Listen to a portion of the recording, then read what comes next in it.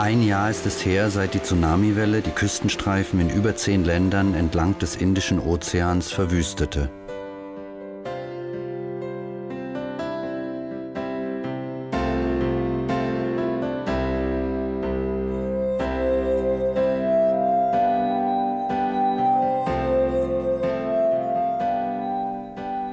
In Indonesien, Sri Lanka, Indien, Thailand und anderen Ländern starben fast 250.000 Menschen in dieser schrecklichen Naturkatastrophe. Millionen wurden obdachlos. In der Bucht von Bengalen, etwa 1200 Kilometer südöstlich des indischen Festlands, liegen die Adaman- und Nikobar-Inseln. Einst ein Paradies, heute sind sie völlig zerstört. Die Andamanen und Nikobaren bestehen aus 576 Inseln, von denen nur 36 bewohnt sind. Die verheerendste Zerstörung wurde auf Little Andaman, Car Nicobar, auf den Nakauri und Kachal-Inseln sowie auf Great Nicobar angerichtet. Auf Car Nicobar und den Kachal-Inseln, die bei der Katastrophe einfach eingeebnet wurden, gab es die meisten Todesopfer. Great Nicobar, das am nächsten am Epizentrum des Bebens lag, ist jetzt völlig zerstört. Alle Gebäude wurden weggespült. Die Inseln Kamorta, Kachal und Trinkat wurden in ihrer geografischen Form und Größe verändert. Trinkat wurde in zwei Inseln gespalten.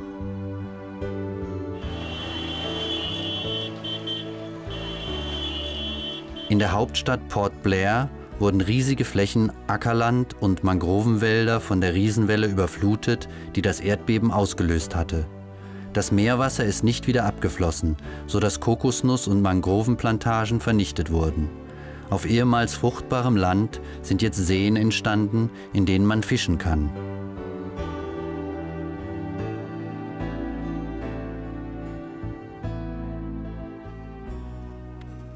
Auf Little Andaman, südlich von Port Blair, wurde 40 Prozent des bewohnten Gebiets zerstört. Man schätzt, dass 10.000 Menschen obdachlos geworden und 500 umgekommen sind. Viele Tote hat man gar nicht gefunden. Einige wurden von Krokodilen gefressen, die in einer kleinen Bucht nahe der Dörfer lebten.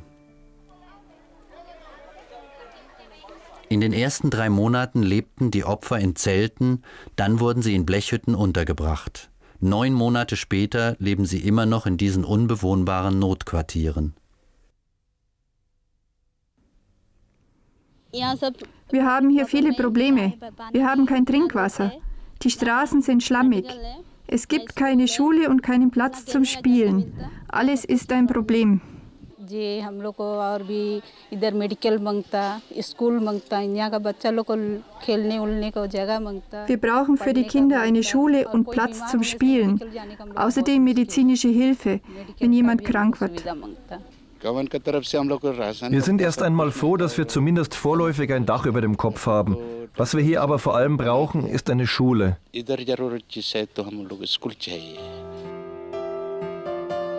Die Notunterkünfte sind feucht und unhygienisch und die Menschen, die dort leben, müssen sich darauf einstellen, noch weitere zwei Jahre dort zu verbringen, bis feste Häuser gebaut sind.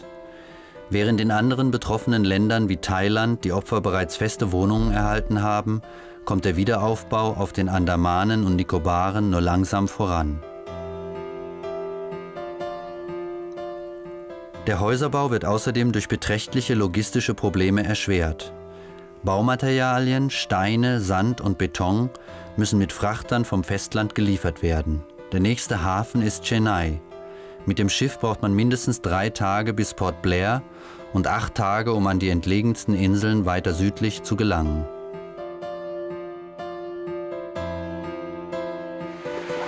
Von April bis Dezember müssen wegen des starken Monsunregens alle Bauarbeiten unterbrochen werden.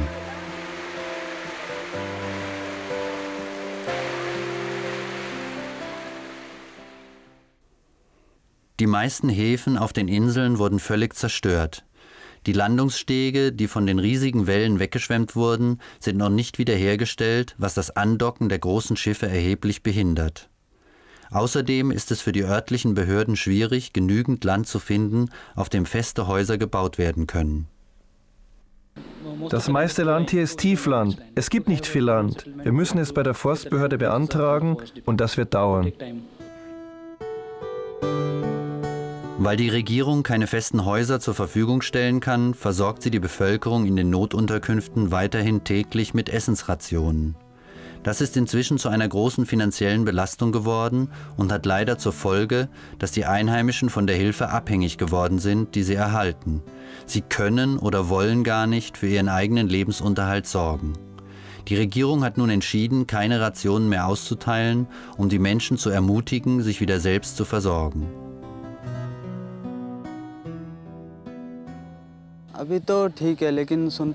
Im Moment reichen die Rationen, aber sie werden bald keine mehr austeilen.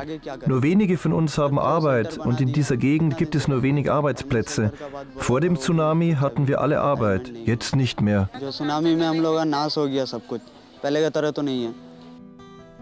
Die Regierung hat auch die Entschädigung für die Opfer gekürzt. Jüngste Berichte sprechen von weniger als einem Euro pro Familie.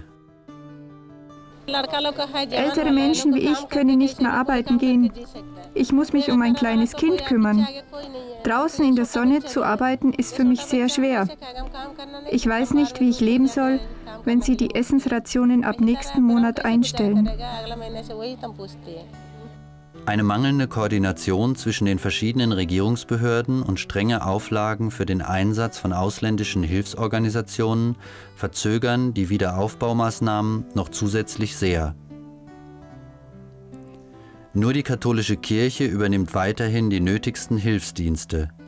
Pater Josef Fernandes aus Kalkutta hatte sich schon bald nach der Katastrophe bereit erklärt, auf Little Andaman zu bleiben und die katholischen Hilfsaktionen zu koordinieren. In acht Monaten grub sein Team auf der ganzen Insel in der Nähe der Notunterkünfte und auch in Dörfern im Landesinnern 18 Brunnen, weil sie die Trinkwasserversorgung als vordringliche Not erkannten. Die Bevölkerung nennt Pater Josef jetzt liebevoll den Wassermann.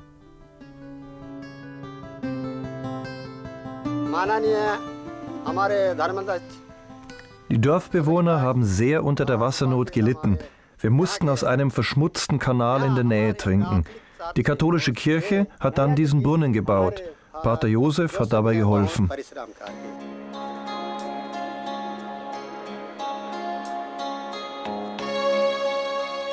Andere Projekte reichen vom Bau von Toiletten über Verteilung von Nahrungsmitteln und anderen Hilfsgütern bis zur Vergabe von Kleinstkrediten für Arbeitsplätze und verschiedenen Selbsthilfeprogrammen, die den Menschen wieder Würde geben und das Leben normalisieren sollen. Uh,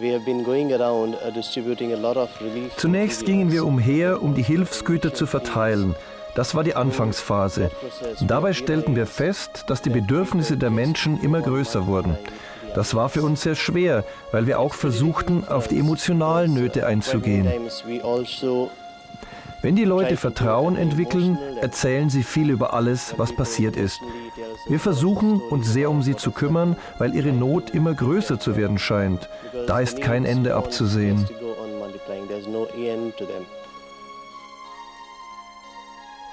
In Port Blair, wo auch das Zentrum der katholischen Diözese ist, wurden für die Fischer, die durch den Tsunami alles verloren hatten, neue Boote gebaut. Die katholische Kirche begegnet den Traumata nach der großen Katastrophe durch die Ausbildung von Beratern, die vor allem Frauen und Kinder, die am stärksten betroffen sind, im Heilungsprozess unterstützen sollen. Es werden auch berufsbildende Kurse für Frauen angeboten, wie Schneidern und Sticken, damit sie ihre Würde wiederfinden.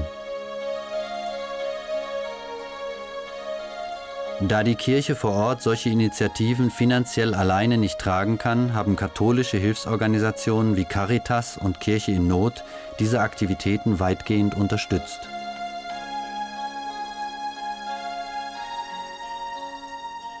Kirche in Not gab Finanzhilfe für verschiedene Hilfsprojekte sowie für den Wiederaufbau von zerstörten Kirchen und Missionshäusern, darunter auch für die katholische Kirche in Hut Bay. Trotz des großen Bemühens, den Menschen wieder ein normales Leben zu ermöglichen, sind die fehlenden festen Unterkünfte ein immer größeres Problem. Wahrscheinlich müssen die meisten Opfer noch bis 2007 in den Notunterkünften bleiben, weil nach Schätzungen der Regierung erst dann richtige Häuser gebaut sein werden. Sie brauchten etwa drei Monate, nur zum Entscheiden, wo und welche Art von Notunterkunft gebaut werden sollte. Deshalb leben die meisten Menschen jetzt immer noch in diesen Notquartieren. Wir konnten noch keine dauerhaften Unterkünfte bauen, da wir dafür noch die Entscheidung der Regierung benötigen. Zunächst schien die Regierung recht langsam zu handeln, so als gäbe es gar kein Krisenmanagement.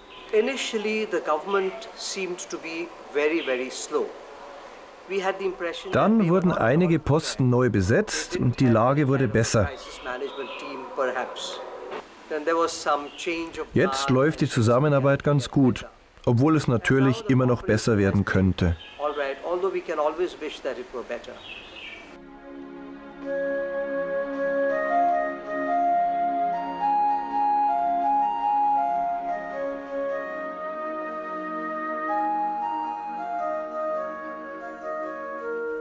Die Not, die der Tsunami verursacht hat, wird für die Menschen auf den Andaman- und Nikobar-Inseln noch durch die Enttäuschung über die Regierung verstärkt.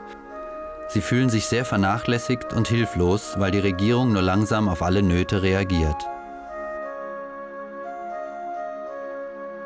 Es gibt große Zukunftsängste, aber man kann in den Menschen auch einen Funken Hoffnung entdecken. Die haben sie nicht verloren, obwohl sie alles verloren haben. Die Hoffnung hält sie aufrecht. Man sagt, die Hoffnung stirbt zuletzt. Für viele Menschen auf diesen abgelegenen Inseln ist es jedoch schwer, die Hoffnung nicht zu verlieren.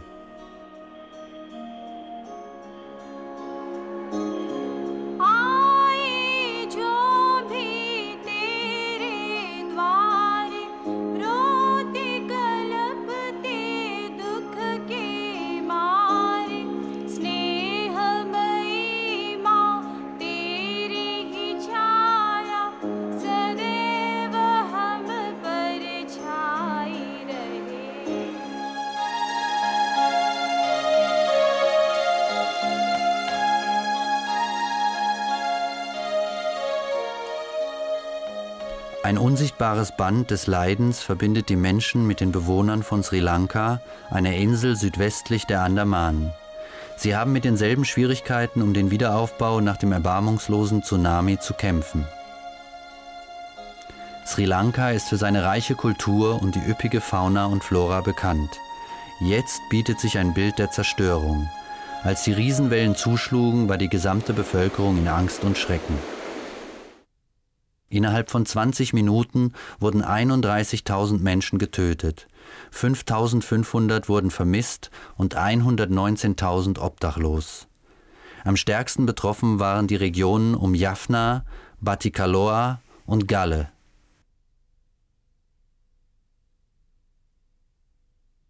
Allein in Galle gab es an die 10.000 Tote, 2.000 Vermisste und 23.000 wurden obdachlos.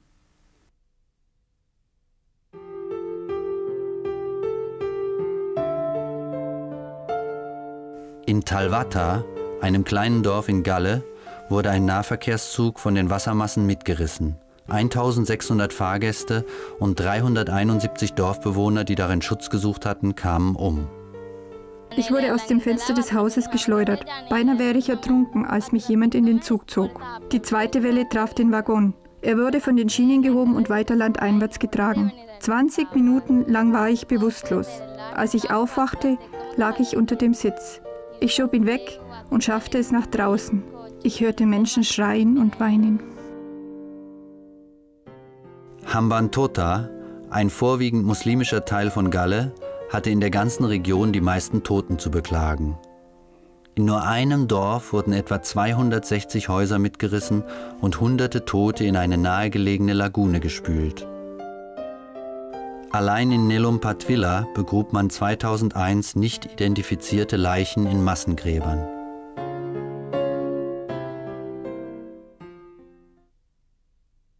Wenige Minuten nachdem der Tsunami die Küste getroffen hatte, reagierten mehrere Institutionen sofort auf die vordringlichsten Nöte der Opfer. Medikamente, Nahrungsmittel, Hausrat und Zelte wurden bereitgestellt. Aber das Leben im Lager war nicht einfach. In den ersten Monaten gab es keine richtige Trinkwasserversorgung für die Opfer. Die katholische Kirche von Sri Lanka stellte Wassertanks und mobile Toiletten bereit. Die Grundversorgung sowie Strom waren in vielen Gegenden jedoch weiterhin nicht vorhanden. Der Tsunami riss nicht nur Familien entzwei, sondern er nahm vielen Bürgern von Sri Lanka auch den Arbeitsplatz. Damit die Einheimischen ihren Lebensunterhalt wieder selbst bestreiten können, stellte die Kirche den Fischern auf Sri Lanka neue Boote, Fischernetze und Tauchausrüstung zur Verfügung. Händler erhielten Kleinstkredite, damit sie ihre Arbeit wieder aufnehmen konnten. Es wurden Kleingewerbe für Frauen gegründet, zum Beispiel Schneidereien. In vielen Regionen wird die Bevölkerung mit direkt bezahlten Arbeiten unterstützt. Frauen und Männer übernehmen Aufräumarbeiten und helfen beim Bau von Straßen und Notunterkünften.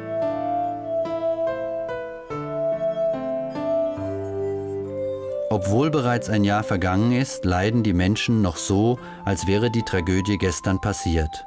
Morene Pereira hat neun Familienmitglieder verloren.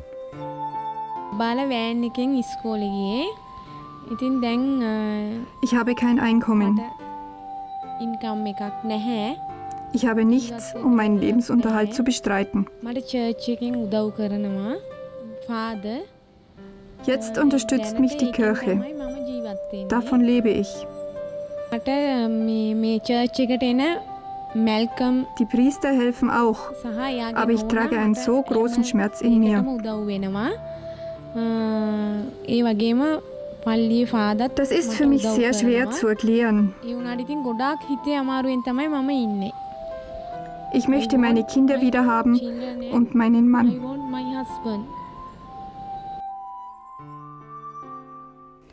Etwa 5000 Berater wurden ausgebildet, um traumatisierte Menschen nach der Katastrophe zu begleiten. Den Menschen eine feste Bleibe und einen Neuanfang zu geben, ist jetzt vordringlich, aber es dauert länger und gestaltet sich schwieriger als erwartet.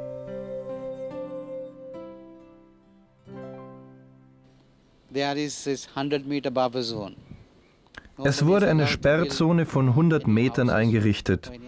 Dort dürfen keine Wohnhäuser oder andere Gebäude errichtet werden. Wir müssen neues Bauland finden, was den gesamten Wiederaufbau verzögert.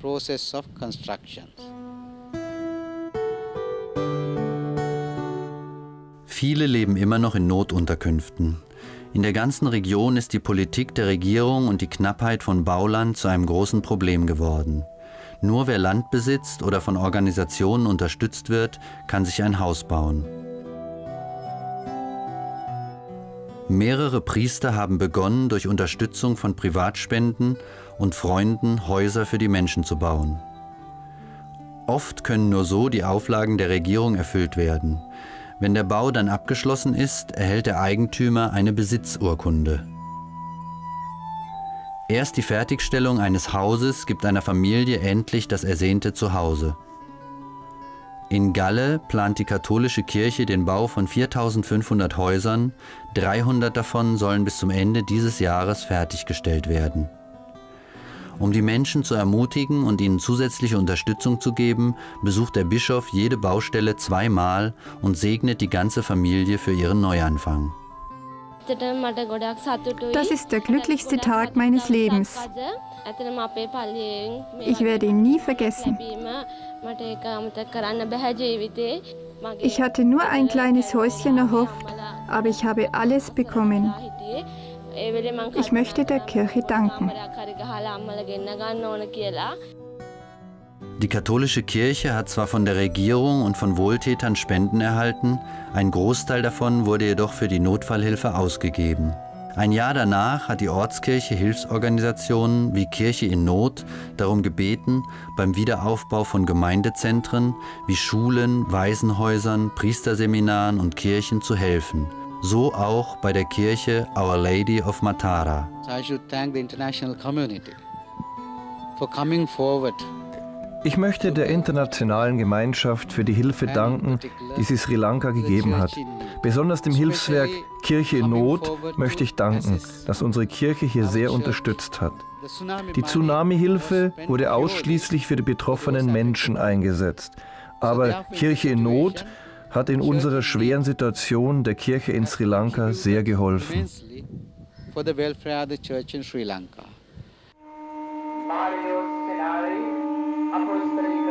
நாற்பத்தி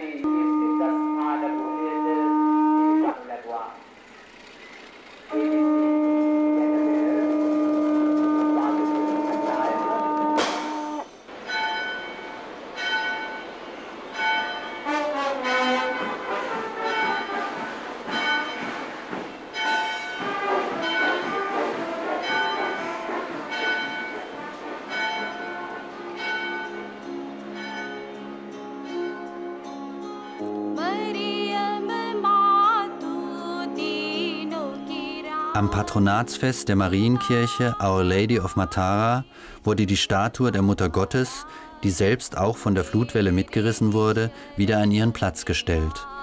Die Statue wurde drei Tage nach der Katastrophe etwa 500 Meter von der Kirche entfernt gefunden. Sie war fast unversehrt, nur ein Handgelenk des Jesuskindes war zerbrochen. Neben den Pfarrangehörigen beteiligten sich auch buddhistische Mönche, Lehrer und Schüler der nahegelegenen buddhistischen Schule an den Vorbereitungen für das Fest. Wenn wir so zusammenarbeiten, setzen wir uns für eine gerechte Gesellschaft ein. Damit wir diese Einheit erreichen, helfen wir uns gegenseitig, wo immer Hilfe benötigt wird. පියතුමත් සමග කතා බහ කරනවා නිරන්තරයෙන් අපි එන පියතුමත් අපේ පන්සලට ගිහිල්ලා අපිත් එක්ක නිරන්තරයෙන් කතා බහ කරනවා මොනවද කෙරෙන්න ඕන කියලා ඒ උදව් උපදව් කරනවා Der Tsunami löste nicht nur Großzügigkeit aus, sondern ließ auch Menschen verschiedener Religionen zueinander finden. Die katholische Kirche in Sri Lanka begann mit interreligiösen Aktivitäten, unterstützte muslimische und buddhistische Gemeinden beim Bau von Toiletten und stellte Haushaltseinrichtungen zur Verfügung. Die Kirche half außerdem beim Wiederaufbau von buddhistischen Tempeln und Schulen.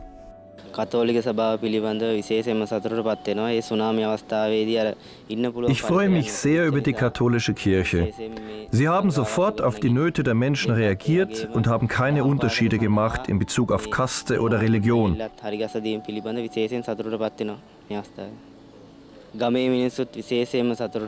Ich möchte der Kirche sehr danken. Damals hatte ich kein Dach über dem Kopf. Jetzt haben sie uns ein Haus gebaut. Die Menschen hier im Dorf, vor allem die Kinder, sind der Kirche sehr dankbar.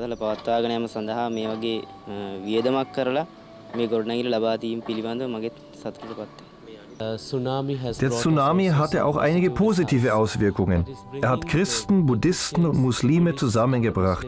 Vor allem, dass die Hierarchie, dass die Geistlichen zusammenkommen, das ist für Sri Lanka eine neue Erfahrung. Es haben zwar fast alle Länder, die vom Tsunami betroffen waren, aus aller Welt Hilfe erhalten, die Erfahrung zeigt aber, dass es nicht mit der materiellen Wiederherstellung der Lebensgrundlagen getan ist. Es ist Heilung für die Wunden nötig, die in den Herzen der Menschen angerichtet wurden, damit sie wieder aufrecht gehen und nach vorne schauen können. Nicola hat sieben Familienmitglieder verloren. Nach der Katastrophe hat sie sieben Monate lang nicht gesprochen.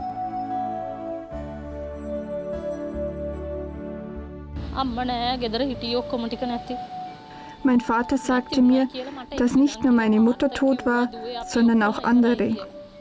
Da weinte ich. Nachdem ich das gehört hatte, kletterten wir auf das Dach des Gebäudes, um uns in Sicherheit zu bringen. Dann fragte ich mich, wozu ich noch leben sollte, wo doch meine Mutter und all die anderen tot waren. Ich war voller Schmerz. Ich war nicht wütend auf Gott. Ich war in der Situation einfach hilflos. Aber jetzt kann ich mein Schicksal annehmen. Was das Leben auch bringen mag, ich bin bereit, alles mit Freuden anzunehmen. Ihr Glaube und die Kirche halfen Nicola, das Trauma zu überwinden.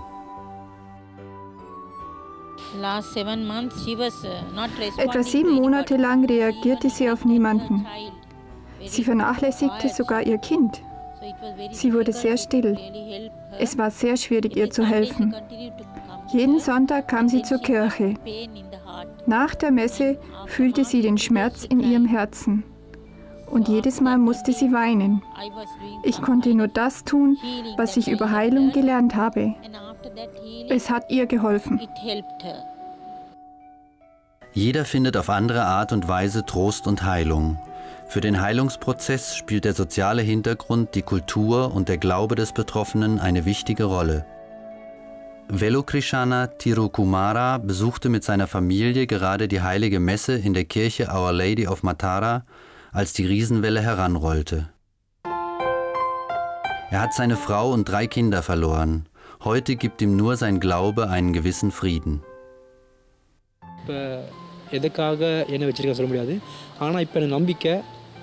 Ich weiß nicht, warum mich Gott am Leben gelassen hat.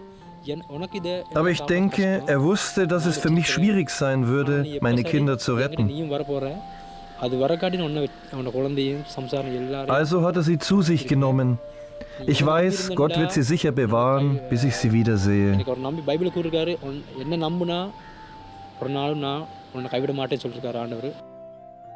Es hat fast neun Monate gedauert, bis er davon sprechen konnte und bis er den Mut hatte, wieder auf das Meer zu schauen. Hier läuft Kumara zum ersten Mal wieder am Strand entlang.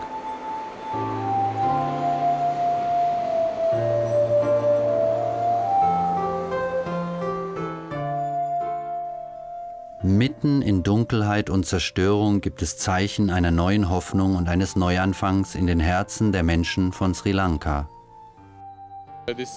Es gibt den Menschen neue Hoffnung, wenn sie zusammenkommen und beten. Es ist eine gute Erfahrung. Sie erkennen, dass ein Leben vor ihnen liegt und dass wir einen liebenden Gott haben. Gott ist kein strafender Gott.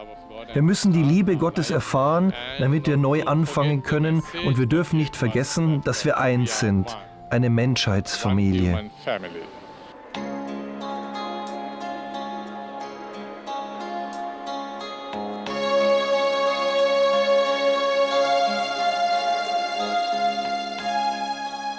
Wenn der Tsunami irgendetwas Positives gebracht hat, so ist es, dass Menschen unterschiedlicher Religion, Rasse und Kultur näher zu Gott und zueinander gefunden haben.